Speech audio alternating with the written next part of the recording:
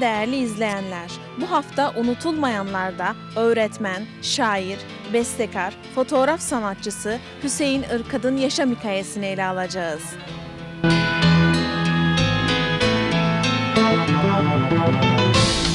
Merhum Hüseyin Irkad'ın mücadele dolu hayatını, başarılarını eşi ve çocukların ağzından dinliyoruz. Hüseyin Irkat 1 Eylül 1933'te Lefkoşa'da doğdu. Çok yoksul bir ailenin en büyük çocuğu olmasından dolayı da ailesinin bütün sorumluluklarını üzerinde taşıdı. Çocukluk ve ilk gençlik çağı Lefkoşa'da geçti. İlkokuldan sonra o zamanın en lüks ve en iyi eğitimini veren ve genelde zengin çocuklarının öğrenim gördüğü İngiliz okulu sınavını kazanarak İngiliz okuluna devam etti. İkinci Dünya Savaşı'nın getirdiği açlık, savaş ve yoksulluk dönemlerinde bazen hem çalıştı hem de eğitimini devam ettirdi. Küçük yaşından itibaren okumaya düşkün olan ırkadın hayatı boyunca da en büyük zenginliği içerisinde binlerce Türkçe ve İngilizce kitabın bulunduğu kütüphanesi oldu. İngiliz okulundan sonra sırasıyla Öğretmen Koleji ve Gazi Eğitim Enstitüsü'nde okudu. Cardiff Üniversitesi'nde üst öğrenim gördü. 1974-1983 yıllarında Halkla İlişkiler Dairesi'nde ve Gazi Mausa Kaymakamlığı'nda çalışan Irkat, daha sonra emekliye ayrıldı. Edebiyat eserlerini yayımlamaya Çardak dergisinde başladı. Kıbrıs'ta ilk çocuk dergisi olarak sadece ilkokullar için 1950'li yıllarda yayımlanan Çocuk Dergisi'nin editörlüğünü ve dağıtımcılığını yapan Irkat, o yıllarda eğitim gören Kıbrıs Türk ilkokul çocuklarına sonsuz bilgiler ve zevkler kazandırdı. Dergilerde Kıbrıs'ın her tarafında öğretmenlik yapan öğretmenlerle öğrencilerin hazırladığı yazılar, öyküler ve şiirlere yer verirken yine öğrencilere birçok bilgiler verilmekteydi. Dergilerde aynı zamanda okullardaki sosyal faaliyetlere de yer verilmekteydi. Biz amca evladıyız aslında. O 1934 doğumlu Lefkoşa'da, ben de 1936 Baf'ta doğdum. Ben Baf'ta büyüdüm, o Lefkoşa'da. Belki beraber olsak alamazdık birbirimizi ama o zaman vasıtalar filan olmadığı için birbirimizi çok ender görürdük. Hatta ilk görüşmemiz ben ilkokul 3. sınıfındayken o da e, İngiliz okuluna e, girdi, girecek ve geldi tanışalım diye. O zamandan beni ikaz etti. Bak diyor, okuyacaksın, okulunu bitireceksin ama sakın başkasını ne seveceksin ne de alacaksın. Ben okuyacağım, seni alacağım. Babama da söyledi bunu. Ancak e, tabii gene son buluşmamız ben ilkokulu bitirdikten sonra bademciklerimden ameliyat olmam gerekti. Lefkoşa'ya gittik. Tabii onlar da amcamda misafir olduk. O zaman da o İngiliz okulunun e, beşinci sınıfındaydı o zamanlar. Tekrar ikaz etmeye başladı. E, bak diyor artık büyüdün sana dünürcü gelebilir ancak ben alacağım seni başka kimseyi almayacaksın diye. Bir şeyden anlamazdım daha 12 yaşımda tabii o zamanlar ama e, birkaç defa da bu kız bir köşede bizi öptü. Bu sefer Allah'a dua ederdim. Bu beni öptü. Allah'ım kasını kısmet etme. Ben kocama nasıl açıklayabilirim beni yeğenim öptü diye. E, zamanla tabii içimde benim bir sevgi, bir ilgi uyandı. 1951'de nişanlandık.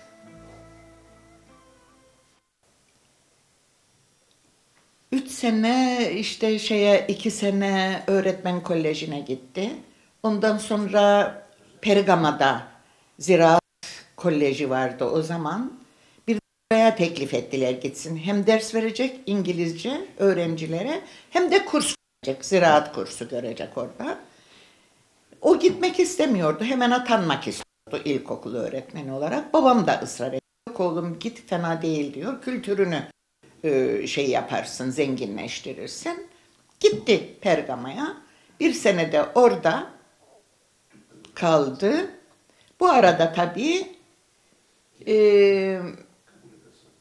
55'te evlendik.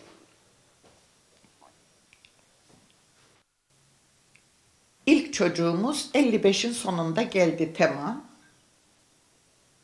28 Aralık 1955'te Tema doğdu. Bu arada o zamanlar ortaokul, lise hocaları ile ilkokul hocalarının maaşları arasında epey fark vardı. Ve Hüseyin Bey'e ilkokul maaşı veriyorlardı oradayken.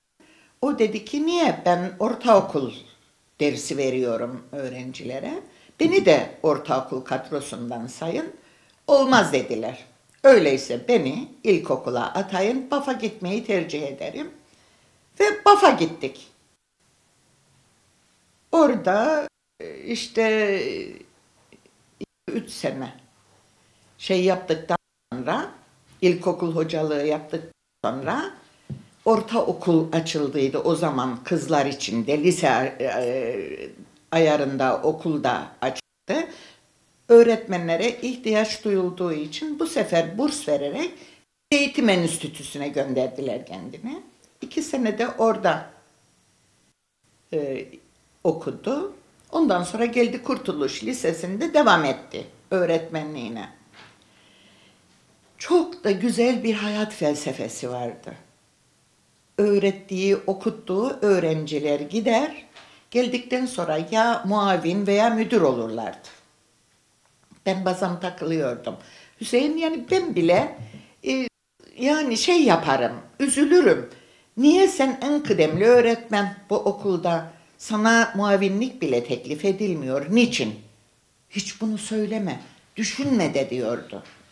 Ben okuttuğum öğrencilerimin benden bir adım değil, on adım önde olmasını isterim ve onlarla iftihar duyarım. Sakın hiç aklından öyle bir şey geçirme. Benim vazifem çocukları okutmaktır, eğitmektir, onlara bilgi vermektir. Yükselmek değil derdi şeyde. Ondan sonra işte birbiri arkasına artık iki senede bir beş oğlumuz oldu. Hüseyin Irkat 1963-64 olaylarının başlamasıyla da ulusal şiirler yazmaya başlar. Esasında o hep halkının yanındadır. Toplum ulusal sorunlarla karşı karşıya kaldığında da onlara ulusal şiirleriyle seslenmiştir. Baf Kurtuluş Lisesi'nde İngilizce öğretmenliği yapan Hüseyin Irkat, bir anda kendini öğrencileriyle mevzide bulur. Hatta onlardan bazıları da şehit olur. Hüseyin Irkat'ın hayatı şiirleri gibi esasında Kıbrıs tarihini anlatmaktadır. 1950'li ve 60'lı yıllarda bazı şiirlerinin Türkiye'deki varlık dergilerinde de yayımlandığı bilinmektedir. Pek tabii ki sadece edebiyat ve şiir alanında değil, o birçok alanda da toplumu çok güç şartlarda mücadele ettiğinde yanındadır. Tabii ki yalnız değildir. Onun kendi gibi idealist aydın arkadaşları, öğrencileri vardır ve hep birlikte 1964'lü yılların sıkıntılı enklav şartlarında dergi, gazete ve radyo yayınları alanında da büyük başarılar elde ederler. Kendisi 1960'lı yılların ortalarında Bayrak Radyosu'nun gönüllü elemanlarındandır.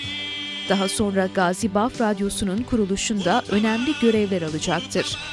Bayrak Radyosu'nun Gazi Baf muhabirliği ve yine 1964'lü yıllarda Mustafa Adaoğlu gibi arkadaşları ve aynı zamanda öğrencileriyle Bucak dergisini kısıtlı imkanlarla Baf Kurtuluş Lisesi'nin teksir makineleriyle çıkaracaktır. Baf enklavı içinde ulusal şiire yöneldiği gibi enklavlar içerisindeki sosyal yaşantıyı da şiirlerinde yansıtır. Erkeklerin çoğu mücahittir. Yardım ve maaşlar da Türkiye'den gelmektedir. Baf enklavında yazdığı şiirlerde taşlamalar ve yergi şiirine örnekler vardır. Irkad'ın şiirlerinde o dönemdeki enklav içerisindeki sorunlar ve haksızlıklar da vardır.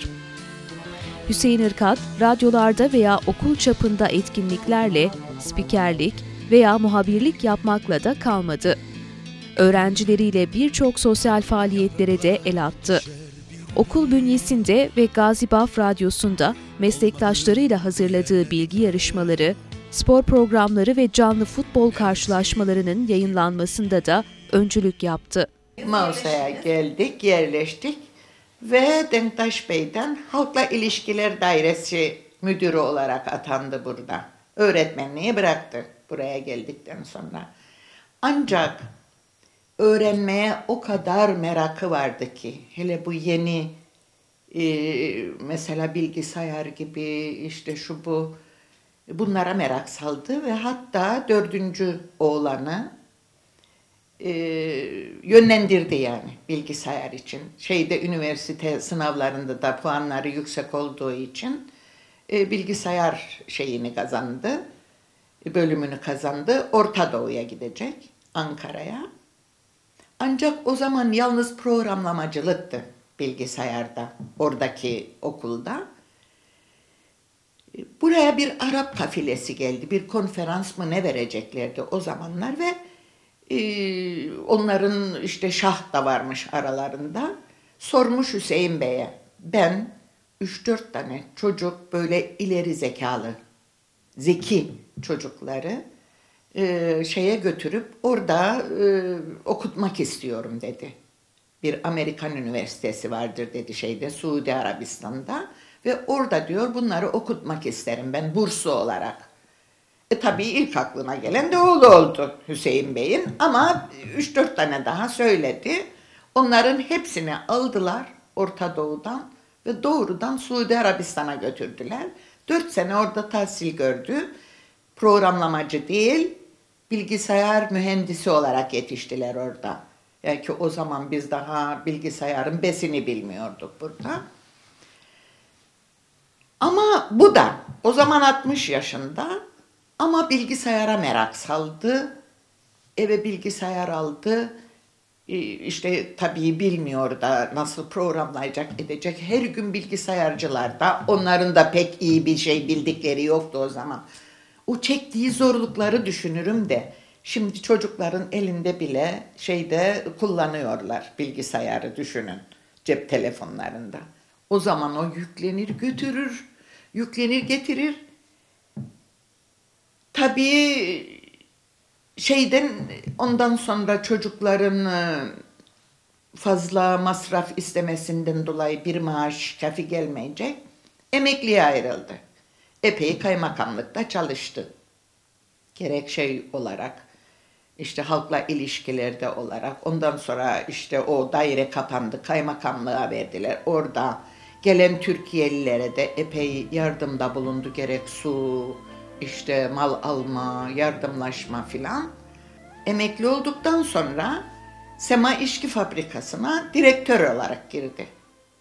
Orada işte bir ara bozulduydu Sema İşki Fabrikası'nın işleri. Bu sefer e, Kıbrıs Gazetesi kuruluyor ve teklif geldi kendine buradaki büronun başına geçsin diye. Ve Kıbrıs Gazetesi'nde de 3-4 sene çalıştı. Dediğim gibi idealist bir öğretmendi. Şeydeyken, okuldayken idealist bir öğretmen, evde ideal bir baba, eğitmen, çocuklarına karşı veya öğrencilerine karşı ideal bir baba, benim için de bulunmaz bir eş oldu. 53 sene beraberliğimizde hep hayatımız ha olmaz mı? Muhakkak münakaşalar olur. Ama ondan sonra kendimize e, öz eleştiri yaparak hangimizdeyse o şeye münakaşaya sebebiyet veren döner özür dilerdik birbirimizden. Çok güzel bir evliliğimiz geçti. Evde güzel bir hayatımız vardı. Hiç yani öyle ciddiye alınacak bir şeyimiz olmadı 53 sene. Gayet güzel anlaştık. Evde çocuklarına karşı bana karşı gayet anlayışlı. Hatta ben bazen böyle kavga etmek ihtiyacı duyardım. Biliyorsun bazı günler insan hassas olur. Beklerdim böyle dört göze bir münakaşa açalım da tartışalım diye. O anlardı hemen. Tamam karıcığım istediğin gibi olacak. Hiç sinirlenme, hiç üzülme. Yo ben seninle kavga etmek istiyorum. Bir şeyler söyle de ben de boşalayım biraz. Yok yok hiç kavga etme, sinirlenme. Senin istediğin gibi olacak. Yani hemen yatıştırmasını bilirdi. Ameliyattan sonra iki sene yaşayabildi yani. Açık kalp ameliyatı geçirdiydi şeyde, Ankara'da. Başkent Hastanesi'nde. Ama ancak iki sene yaşayabildi. Oradaki doktorlar bile o kadar sempati duydular kendine. Bunlar ameliyattan çıkardılar kendini, revire koydular. Ee, tabii ameliyatta epey şeyde yattı, yoğun bakımda 25-30 gün, bir ay kadar yoğun bakımdan çıkamadı. Çok ağır oldu ameliyatı. 1972-73 yıllarında da müzik besteleri yapmaya başladı. Ben Baflıyım Güzelim şarkısı o yılların sevilen şarkılarından biri oldu. Sadece pop müziği alanında değil, türküleri de yapılan yarışmalarda iyi sonuçlar elde etti. Zaman ve Ben adlı türküsü Lefkoşa'da Gençlik ve Kültür Dairesi'nin bir beste yarışmasında ödül kazandı. Aşık Katibi mahlasıyla gazetelerde 1970'li yıllarda yazdığı şiirlerde toplum tarafından oldukça beğenildi. Irkat hem serbest nazımda hem de hece vezninde şiirler yazdı. Bir İngilizce öğretmeniydi ama bir şair kadar güzel şiirler yazdı. Bir bestekar kadar güzel şarkı ve türküler besteledi. Bir fotoğraf sanatçısı kadar güzel fotoğraflar çekti ve sergiledi. Bir tür üzerinde eserler vermeden önce yüzlerce kitap okumayı yeğlerdi. Öğrencilerine ve çocuklarına aslında şu mesajı vermek istiyordu. Yaratıcılık ve araştırma yapma hangi şart ve çevrede isterseniz olun, eğer gerekli kültürü ve eğitimi almışsanız, kendinizi yetiştirip eser vermeye hazırsanız, bu her hal ve şartta gerçekleşecektir. Önemli olan gerekli bilgiyi alıp bunu beyinde şekillendirmek ve bir esere dönüştürmektir.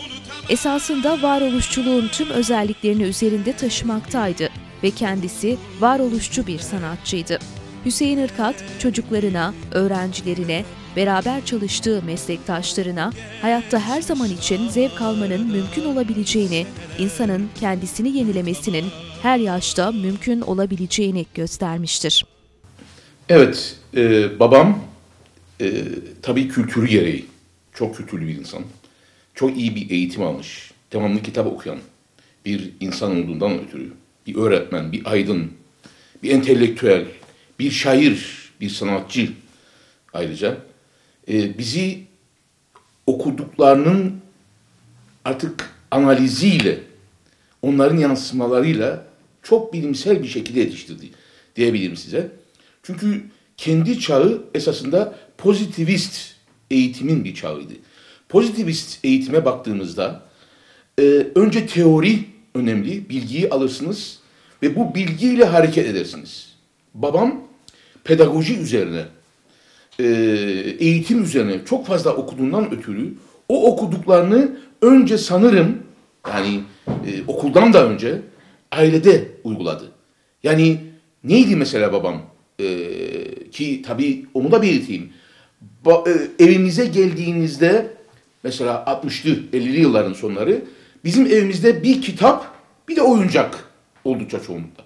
Babamın inancı kitap çocuğun olgunlaşmasını, kültürlü olmasını e, gerektiriyor. Çok da çocuk kitabımız vardı. Tabii babamın kitapları da ayrı. İngilizce edebiyattan tutun Osmanlıca, Türkçe edebiyata kadar yani kitaplarımız. Binlerce kitabımız var evimizde. Oyuncak, oyuncak önemli babam için. Oyuncak niye önemliydi babam için? Çünkü ona göre eleştirel düşünceyi çocuk ki bu belki e, August Comte'ların, Piaget'lerin oyunla e, çocuğun öğrenmesi veya çocuğun karakterinin gelişmesi şeklinde bir düşüncenin ürünüydü babamdaki. Çok bilimseldi esasında e, şeyi düşüncesi çocuk eğitiminde. Dolayısıyla evimizde bir kitap bir de oyuncak vardı. Yani ben 1960'ların başlarında hatırlıyorum. E, mesela Rum mahallesinde kalıyorduk ama diyebilirim ki size çevremizdeki e, Rumlardan bile hatta Türk ailelerden bile daha fazla evimizde çocukların bize gıptaya baktıkları oyuncaklarımız vardı. Mesela bizim evimizde e, salıncaklarımız vardı. Kaykaylarımız vardı. Babam muhakkak bir e, kirada olmamıza rağmen eve bir yüzme havuzu yaptırdı. Bir kum havuzumuz vardı örneğin. Bir de mesela e, atlarımız vardı. Salyangoz, yürüyen salyangozlarımız vardı ki bu size söylediğim 1960 yıllarında oluyordu. Uzaktan kumandalı hatırlıyorum 1960 yılında. Mesela uzaktan kumandalı gemim vardı benim. O havuzumuzda yüzdürürdüm mesela uzaktan kumandayla. Uzaktan kumandalı mesela çoğu çocuk 1980'lerde görmüştür uzaktan kumandalı araçları, oyuncaklar ama biz 1960'lı yılların başlarında böyle oyuncaklar gördük. Babam eleştirel düşünceye önem verdi. Bağımsız karaktere önem verdi. Bağımsız karakterin, eleştirel düşüncenin de öncelikle oyuncaklarla olduğuna inanırdı. Bir de babam bize okula gitmeden önce gerek temaya gerekse bana diğer, gerekse diğer kardeşlerimize çok iyi şey çalıyor, mandolin çalıyor. Çok iyi mesela akordeon çalıyor, ağız mızıkası çalıyor. Bizi karşısına alır, o aletlerle, bu aletleri çalarken bize şarkı söyletirdi. Tabii şarkıyı öğretirdi ve o aletleri çalarak karşımızda bize şarkılar öğretirdi. E, bunlar Almanca şarkılar da olabilirdi, İngilizce şarkılar da olabilirdi ama şarkının e, çocuk terbiyesine, çocuk eğitimine veya okul eğitimine e, girmesini ben ilk önce babamda gördüm. Yani daha sonra mesela beni okuttu e, Bak Kurtuluş Lisesi'nde İngilizce öğretmeni olarak. Mesela bizim İngilizce eğitimimizde e, o dönemler 60'lı yıllarda Beatles'lar vardı mesela. Ve Beatles'ların e, bu bizim tens olarak söyleyeceğim e, geniş zaman tensini en iyi kullanan e, İngilizce'de topluluk olduğu için Beatles'ların şarkılarını mesela öğretirdi ki ben bile babamdan esinlenerek İngilizce öğretmeni oldum ilkokulda ve bunları çocuklara babamdan öğrettiğim şekilde e, öğrettim ve başarılı oldum. Yani şarkılarla çocuklara eğitme, şarkılarla İngilizceyi verme. Benim de esas konum oydu. Tabii bunun yanında babamın bir de diğer arkadaşı vardı. Yusuf Öztürk hocamız da. O da e, İngilizce öğretimde şarkıyı kullanıyordu. Bu iki insan e, benim iyi bir öğretmen olmamda, iyi bir eğitimci olmamda da büyük rol oynadılar. kendimi ilk anlamaya başladığım günlerden itibaren ben babamı öğrenci olarak bilirdim. Ben yeni doğduğumda babam Türkiye'de tahsildeydi. Daha doğrusu kendimi anlamaya başladığım yıllarda babamın Türkiye'de tahsilde olduğunu öğrendim. Büyük bir hasretle kendisini bekliyordum kendimi artık anlamaya başladığımda. Ulus'ta, Ulus yeni doğmuştu evet. İkimiz birlikte babamızı beklerdik. Hediyelerle gelirdi Türkiye'den. Müthiş bir hasretti. Bende de Ulus'ta da. Hatırlıyorum geldiği günün gecesi babamızın mutlaka boynuna sarılarak uyur- uyurduk. Ertesi gün sabahtan babamız her ikimizi de yeni getirdiği hediyelerle bizi giydirir, yeni, yeni elbiselerde mutlaka gezmeye götürürdü. Onun dışında artık tahsilden geldikten sonra esas öğretmenliği başladı. İleriki yıllarda artık bizim de öğretmenimiz oldu ama her şeyden evvel tabii ki o bizim babamızdı. Müthiş bir babaydı. Öğretmenliğini de babalığına katarak, katarak bize e, çok çok ama çok yardımcı e, oluyordu her alanda. Yeteneklerimizi bir bir ortaya çıkarmak hiçbir kabiliyeti vardı. Mesela mesela benim e, kısa bir devre içerisinde müziğe olan yatkınlığımı anladı. Şöyle olmuştu. Mahallemizde bir abimiz vardı ve bakta babamın da çabalarıyla kurulan bir e, topluluktu bu. Pop grubu. O zamanın pop e, gruplarından. Onun bir İspaniş gitar vardı abimizin. Hep birlikte bir ortamda olduğumuz bir günde gitar benim elimde bulundu. Elime aldığım andan itibaren Barış Manço'nun kol düğmelerini çaldım. Hayatımda gitar almadıydım elime. O esnada babamın dikkatini çekti. O gün ben bir gitar sahibi oldum. Hemen o gün bir gitar sahibi oldum. Öğreticiliği çok müthiş idi. Ee, kesinlikle ezbere dayandırmazdı hiçbir şeyini. Bir prensibi vardı. öğretmeye çalışırdı. Öğrettikten sonra öğrenmenin, e, öğrettiği kişinin neleri öğrendiğini öğrenmeye çalışırdı. Dolayısıyla böyle bir e, eğitim anlayışı vardı e, babamın. Evlilik insan yaşamında ve doğasında bir kaçınılmaz gereklilik. Ben de 1954 yılında evlendim. Şunu belirteyim, eşimle biz iki kardeş evladeyiz. Ben Lefkoşa'da doğdum, eşim ise Baf'ta. Ben size şöyle söyleyeyim. Hüseyin Bey önce benim hocamdı. Şöyle ki yeni gelmiş genç öğretmen olarak o zamanki Kurtuluş Lisesi'nde İngilizce öğretmenliği yapıyordu.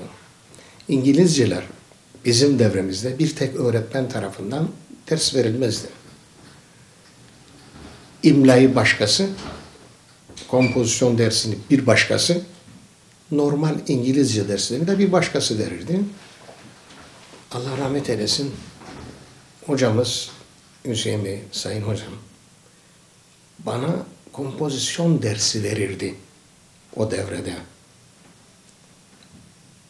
Kompozisyon. imla dersine girerdi. Fazla bir dersimiz olmazdı. İşte bir yıllık bir devrede öğretmenim oldu.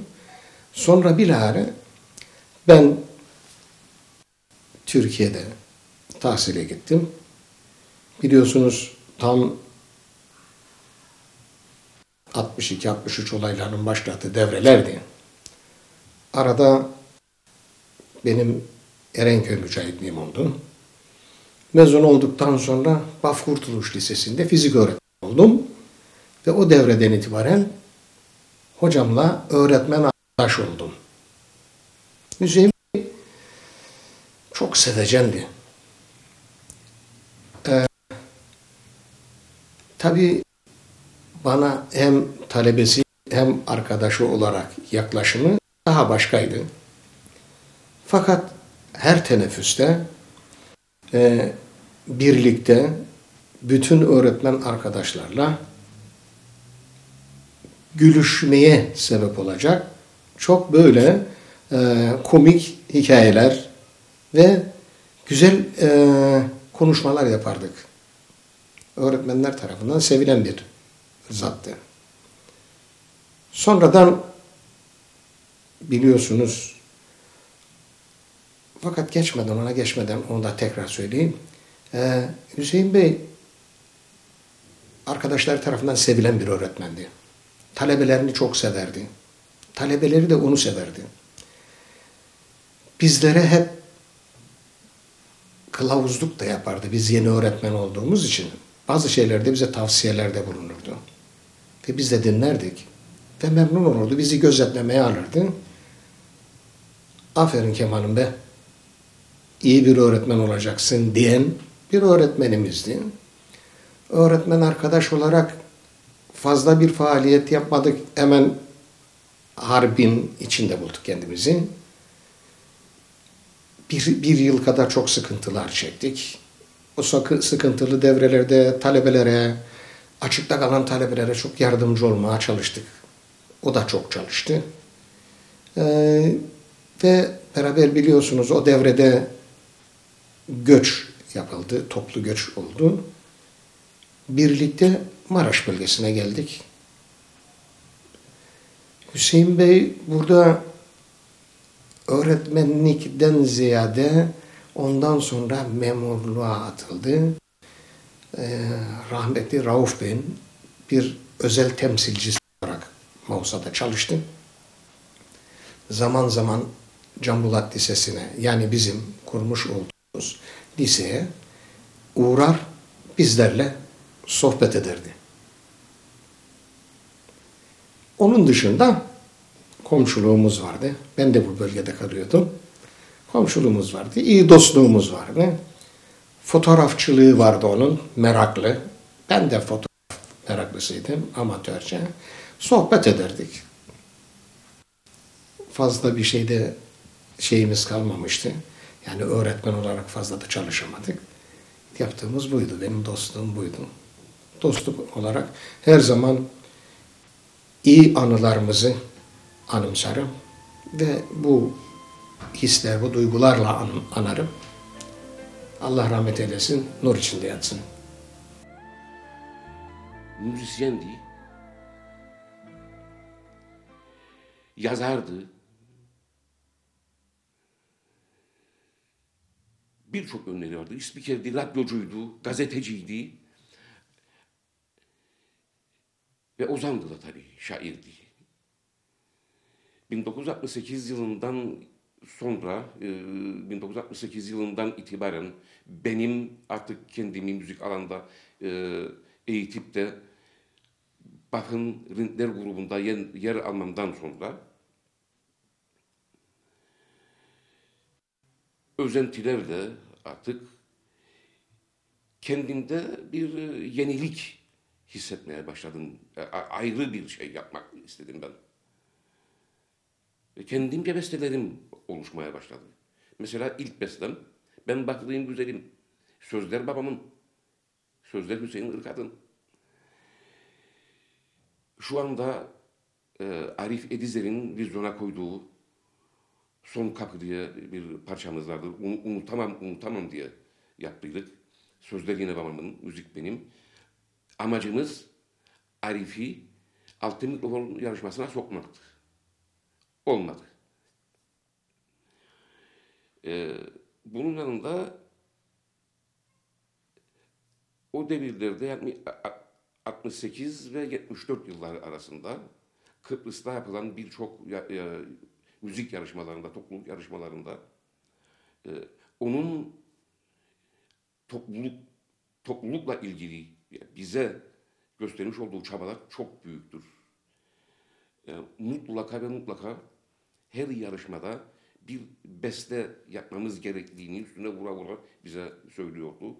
Ve ben de onun yardımlarıyla e, kendimce besteler yapıyorduk. Topluluk arkadaşlarımızla birlikte geliştiriyorduk. Babam mutlaka sözlerini yapıyordu. Derecelere, dereceler alıyorduk. Kıbrıs Türklerini temsilen e, Türkiye'de 1974 yılında İzmir Akdeniz Uluslararası Festival'de Kıbrıs Türklerini temsil ettik. Onun dışında e, yine babamın sözlerini ya- yazmış olduğu bestelerimizle birlikte katıldığımız yine 74 yılında e, bir yarışmada yine birinci gelmiştik. Tabii ki e, bütün başarılarımızda onun büyük bir katkısı olmuştur. Babam çok okuyan bir insandı.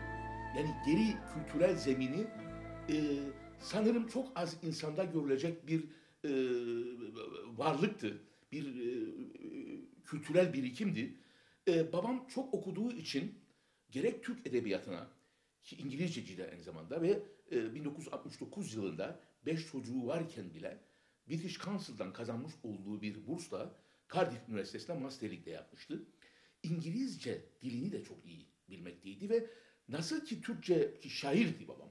Çok güzel şiirler e, yazardı. 1950'li yıllardan itibaren ben çok iyi hatırlıyorum. Varlık, Türkiye'nin varlık dergilerinde bile babamın şiirleri yayınlanırdı. Bunun yanında babamın kendisi de daha öğretmen kolejindeyken Kıbrıs'ta ilk defa olarak bir çocuk dergisi çıkarıyordu. İlk çocuk dergisini babam Çocuk diye bir dergi çıkararak e, mesela başardı, e, çıkardı ve bütün Kıbrıs'a şamil. Yani Omonfo'da okumasına rağmen bütün Kıbrıs'a bu dergileri yayardı. Arkasından babam mesela 1953-54'te Bafa İlkokul öğretmeni geldi. Hala daha bu kitap, bu dergiyi çıkarmaya devam etti. Ee, çocuklar mesela e, mektuplar yazıyorlar. Bu mektupları bir şekilde Bafa kadar getirtiyor ve dergisinde e, hem e, çocukların mektuplarını gönderdiği yazıları hem de kendisi e, kendi yazılarıyla süslemekteydi. E, tabii Hüseyin Irkat, Hüseyin Irkat e, tabii ki e, bir de Osmanlı edebiyatı, Kıbrıs Türk İngiliz edebiyatlarının o birikimiyle 1970'li yılların ortalarında artık besteler de yapmaya başladı. Kıbrıs Türk edebiyatına, Kıbrıs Türk olduğu gibi şiirleriyle ürün verirken Kıbrıs Türk besteciliğine de, Kıbrıs Türk müziğine de katkılar yapmaya başladı ki mesela kendi öğrencilerine e, Baf Rintler ki kendisi koydu Rintler ismini 1966-67 yıllarında e, bir e, müzik pop müzik topluluğu kurdurdu ve bu pop müzik topluluğu 3-4 kuşak Baf'ta etkili oldu. En son işte kardeşim Tema'da e, 1974 yılına geldiğimizde bu toplumun bir üyesiydi. Ama babam e, sadece dıştan gelecek e, parçalarla değil ki bu arada tabii ki 70 ile 74 yıllar arasında gerek Barış Manço'yla gerekse Cem Karaca'yla da istişare ederek e, ki Cem Karaca'nın kendisine 1973 veya 74 yılında nasihatı ve ringlere de nasihatı kendi bestelerinizi yapındı.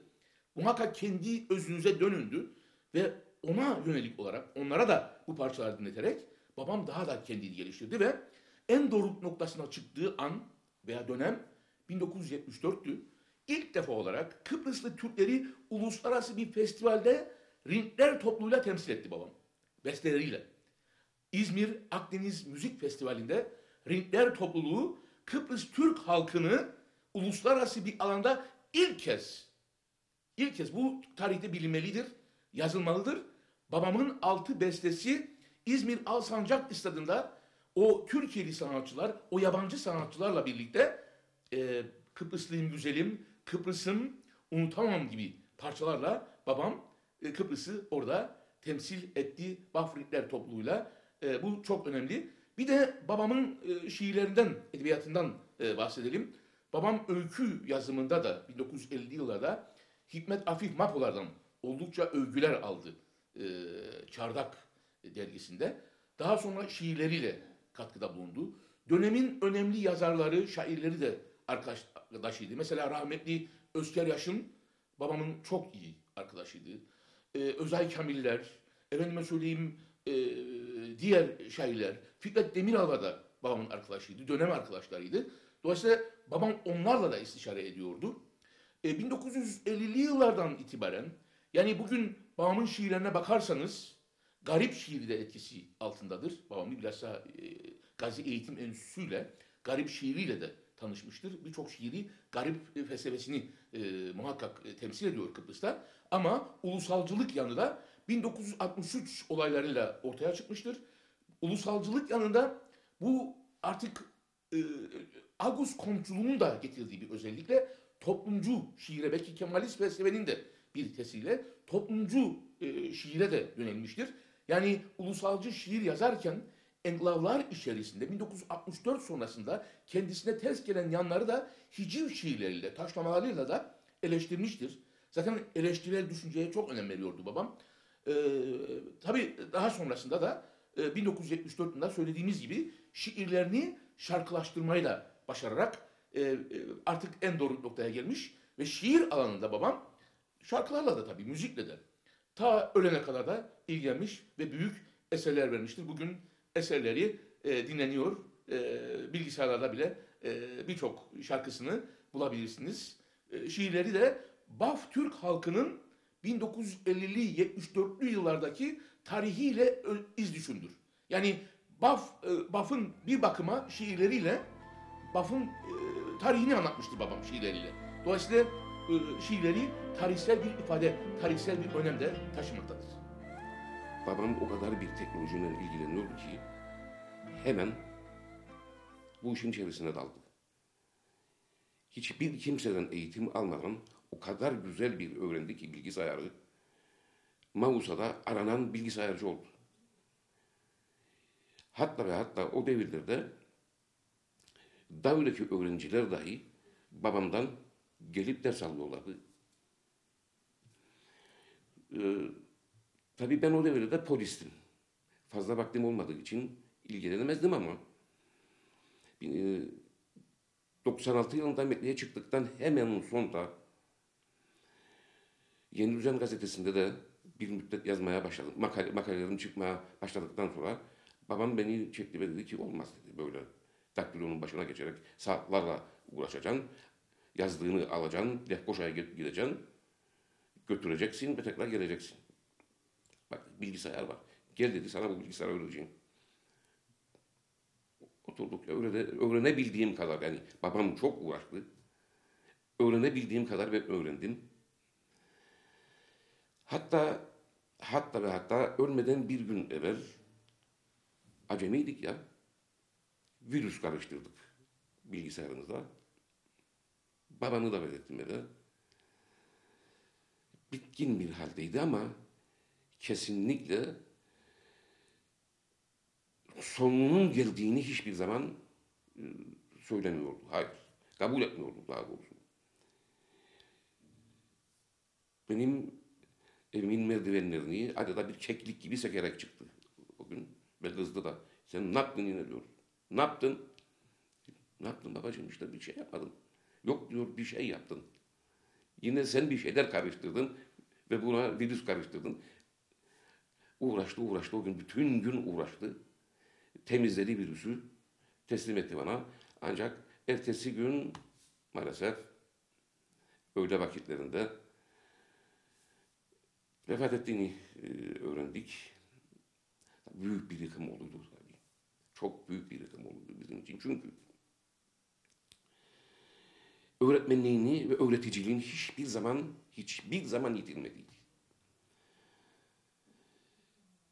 Makalelerimi mesleki açıdan yazmama rağmen yani e, polislik görev yetkileri ile ilgiliydi benim yazdığım makaleler ama Andara'da bir konuların dışına çıkarken mutlaka ve mutlaka babamın bilgisinden çok faydalanırdım.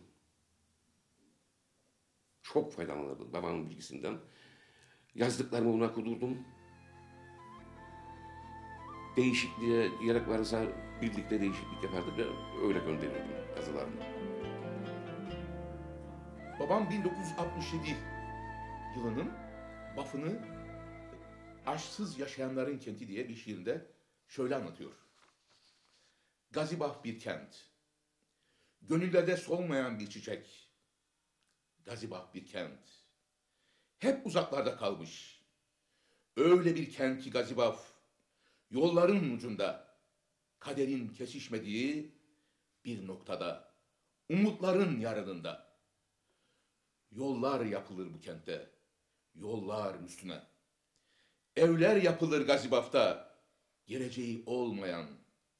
Hep acılar üstüne. Çocuklar doğar bu kentte. Yarınlara umut olacak.